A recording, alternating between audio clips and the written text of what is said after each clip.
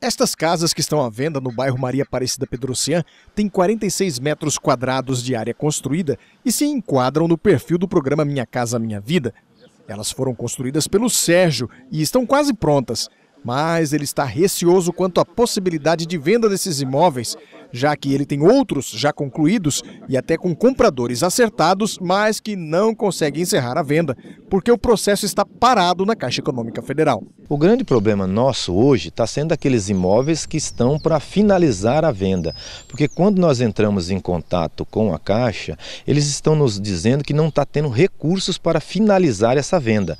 De acordo com o presidente da Associação dos Construtores de Mato Grosso do Sul, só em Campo Grande são mais de 112 processos na mesma situação.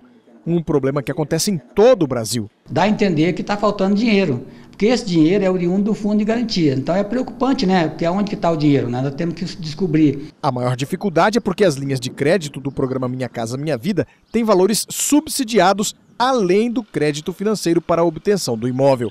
O clima entre os construtores é de tensão, uma vez que não existe uma perspectiva de quando o problema será resolvido. A semana que vem tem recurso. Essa sempre essa resposta. Só que essa semana que vem ainda não chega, porque a semana que vem volta a ter a mesma, a mesma é, afirmação deles, a semana que vem. Por isso, já existe uma mobilização dos construtores junto ao Ministério das Cidades. Hoje a Comasul está trabalhando juntamente com a FENAPEC em Brasília, que é a Federação Nacional dos Pequenos Construtores, que está interligado com mais de 15 associações em todo o Brasil, e nós estamos justamente cobrando da Caixa Econômica e do Ministério da Cidade uma posição urgente, que é muito preocupante para os pequenos consultores, porque é onde tem, vai ter o recurso dele, o retorno desse recurso, para poder começar novas construções e contratações e compra de material. A grande preocupação dos pequenos construtores é que essa interrupção no processo de venda dos imóveis quebra toda a cadeia produtiva do mercado imobiliário, o que pode agravar a crise econômica, gerando mais desemprego. Nós vamos ter que, de, de, vamos,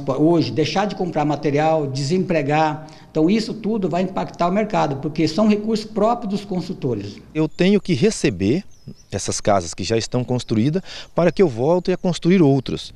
Porque nesse ciclo tem a dependência de pedreiros, serventes, material de construção. Então, o não recebimento, a não assinatura, está travando todo esse sistema, toda essa cadeia construtiva dessas pequenas casas.